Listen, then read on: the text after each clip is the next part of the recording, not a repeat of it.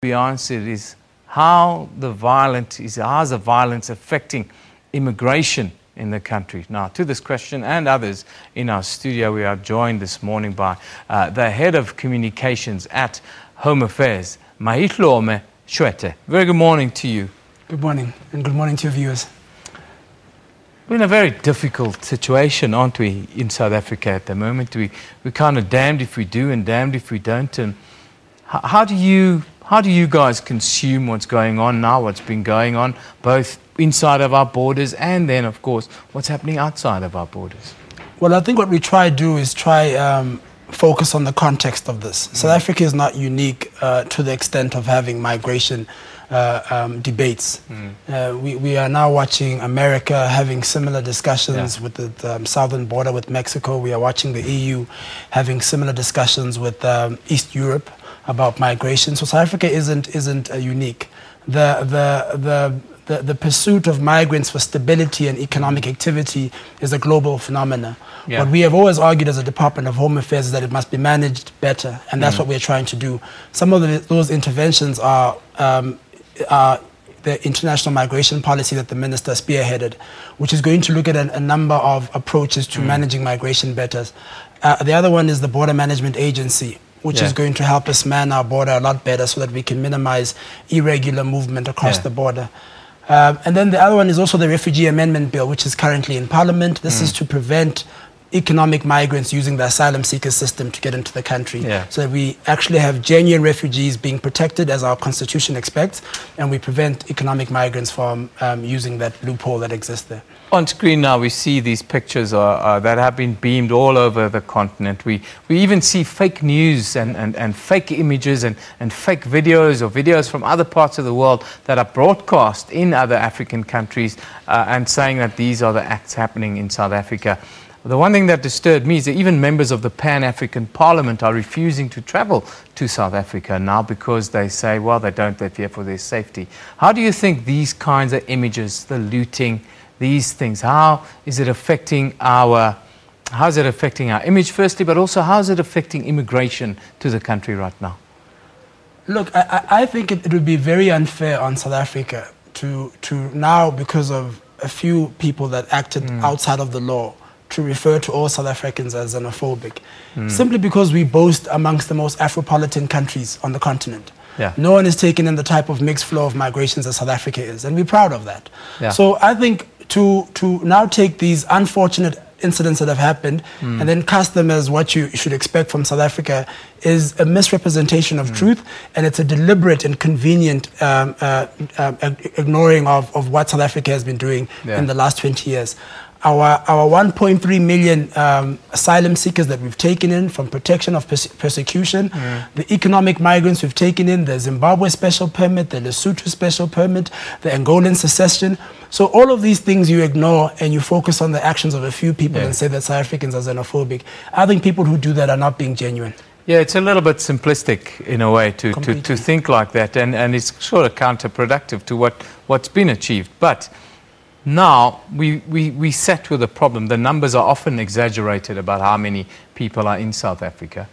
Um, the Africa Diaspora Forum, they've come out now and, and they're talking about maybe you guys at Home Affairs should consider a complete amnesty for all immigrants that are in South Africa now uh, and then start the process from there. How do you, how do you view this kind of, uh, this kind of request or, or this kind of idea? Look, I, I think Mark, Mark is pushing boundaries. Um, excuse the pun on that. But uh, the, the, the issue here, and he argues that if, if, if we give amnesty and we give documentation to everyone who's in South Africa, yeah. supposedly this is going to stop more people from coming. This is mm. what he mm. argues. What we've seen is something completely different. When we gave the Zimbabwe special permit, it didn't stop more Zimbabweans trying to apply for, for access to the country. Yeah. So what we are trying to do is, is responsibly handle migration. We cannot, as South Africa, be the sole bearer of all of the African um, um, citizens of, of, mm. of, our continent. We have our own citizens to be responsible for, but more importantly, we have a, a limited uh, budget to, to try service our citizens. We have a constitutional responsibility to take in refugees, and we have an economic benefit mm. to take in um, economic migrants that contribute to our economy. Yeah. But we cannot uh, uh, merely, um, you know, do this open approach that he, he, is, um, he is asking for. I think there are two dangers here. Hmm. Those that say we should just have an open border and those that say we should seal our border off. Yeah. We as Home Affairs are trying to strike a balance between the two. Yeah, yeah. Ultimately, you have to find uh, you have to find uh, find that balance. But one of the plans that you guys are envisaging is is the one of taking action against companies, unscrupulous uh, managers and the like, who are uh, employing uh, uh, illegal foreign nationals for uh, for very little money, and, and that in itself causes a lot of consternation within South Africans. What's that plan? How far is it along? Yeah, and thank you for bringing that up. I mean, it's, it's impossible to talk about xenophobia and these attacks without talking about the socio-economic context of it. So um, people looking for job opportunities is something that's been happening for millennia. Our economy being built on cheap labor is also something mm. that's been happening for, for, for a long time. Yeah. So we are trying to now shift our attention from chasing those vulnerable mig- migrants that are looking mm. for work opportunities and focus more on the businesses that are flouting our, our policies, our Yeah. laws and regulations. Many of these tensions are created by those businesses. When we had an interaction with Mamelodi Concerned Community, they say to us, there's a spa in their community that says to them bluntly that we are only employing um, um, Yeah. migrant workers. So this in a small community, in the context of um, you know challenging Yeah. economic dynamics, is going to fuel tensions. Absolutely, and, and one see those tensions. You, you see those tensions not just uh, in the big cities, but in even the small little towns all across the country. Those of uh, those of you that travel around, you should have a look at, at that because it's it's really real. I want to conclude by talking about our relationship with countries like Zimbabwe and even uh, even uh, uh, Nigeria. You know, if you read the mainstream media, they'll tell you, oh, these relationships are in tatters and these people don't respect us anymore. What is your view? It's unfortunate. The facts don't speak to that. The facts that we have a lot of um, foreign nationals from, from Zimbabwe, from Nigeria, from Kenya who reside in South Africa, who visit South Africa, and vice versa, that we have South Africans that travel to Nigeria, that travel to Kenya. We have businesses that are moving into the SADC region, the Mr. Prices, the, Yeah. the Peps, and all of these other shops. And then we have MTN that's in Nigeria. So the, the facts don't speak to that perception. So I Yeah. think the perception is unfortunate.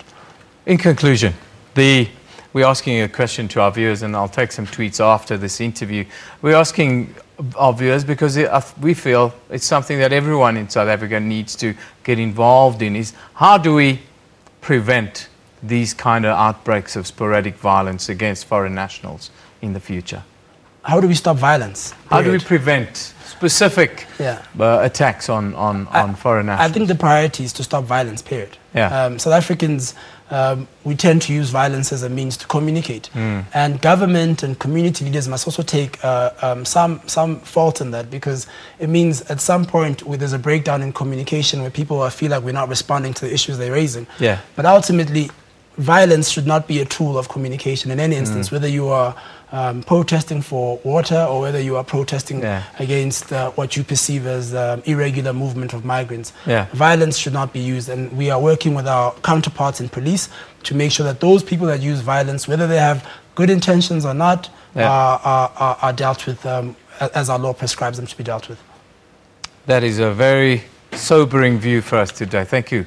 Mayihlome Tshwete is the head of communications at the Home Affairs here in South Africa. And yes, violence in general is what we need to stop. We have rule of law here in South Africa. We should all respect that and we should all respect our fellow citizens, including what we call foreign nationals who live in this land. Now, let's take those comments to, uh, to the question of today. I've just asked uh, Mayihlome that question, and you guys are telling us. Uh, Spelele says xenophobia is wrong, but this doesn't make illegal migration right. And that is one of those things at the heart of the entire discussion. Good comment there. Monuabisi Mbonda says, Newsroom, these people are our brothers and sisters. We must love them and share business with them. Monwabise, the Afropolitan. Very good. Lechasa says, I'm suggesting if our government can improve the security at our borders and not take bribery from foreigners. You've just heard that from Mayihlome Tshwete. He says that is the plan. Improve the way our borders work Not just build fences, but improve the way the borders work, improve the services there. Isaac Lusenga, he comes, he says, Newsroom, the Home Affairs and police should look on that. Yes, they are. They are working together. You've just heard that.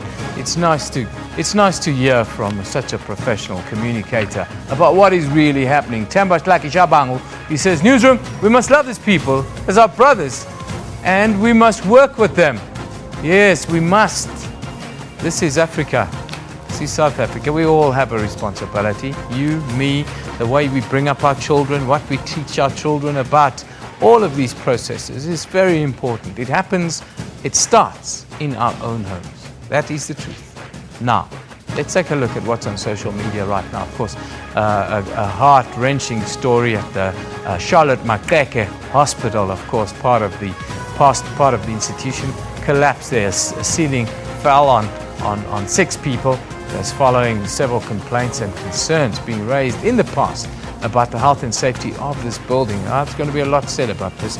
Now, emergency services, we have to commend them. They worked through the night to clear rubble there, and uh, the hospital is once again 100% operational, which of course is the good news. Then, uh, more troubling news from yesterday. Look at this picture.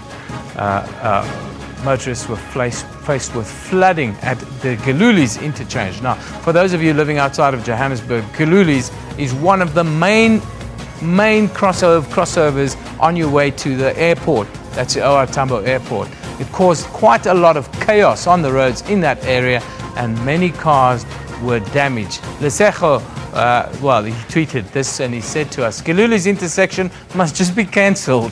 It's like that kid brother who's forever in trouble and your folks don't shout at him anymore.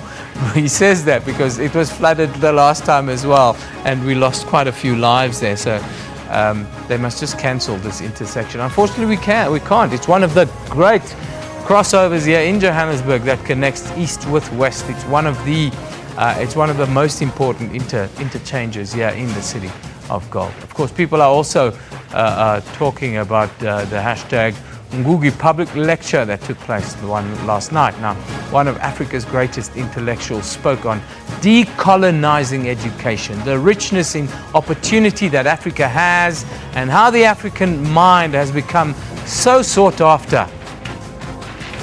Go and have a look, go and have a read. You might surprise yourself. Also, there seems to be uh, anticipation building for the Soweto Derby. Uh, yes, uh, that is set to take place tomorrow. Don't forget, 3.30 at Nasrec here in Johannesburg, FNB Stadium. Kaizer Chiefs will go up against the people's team, Orlando Pirates. Should be interesting.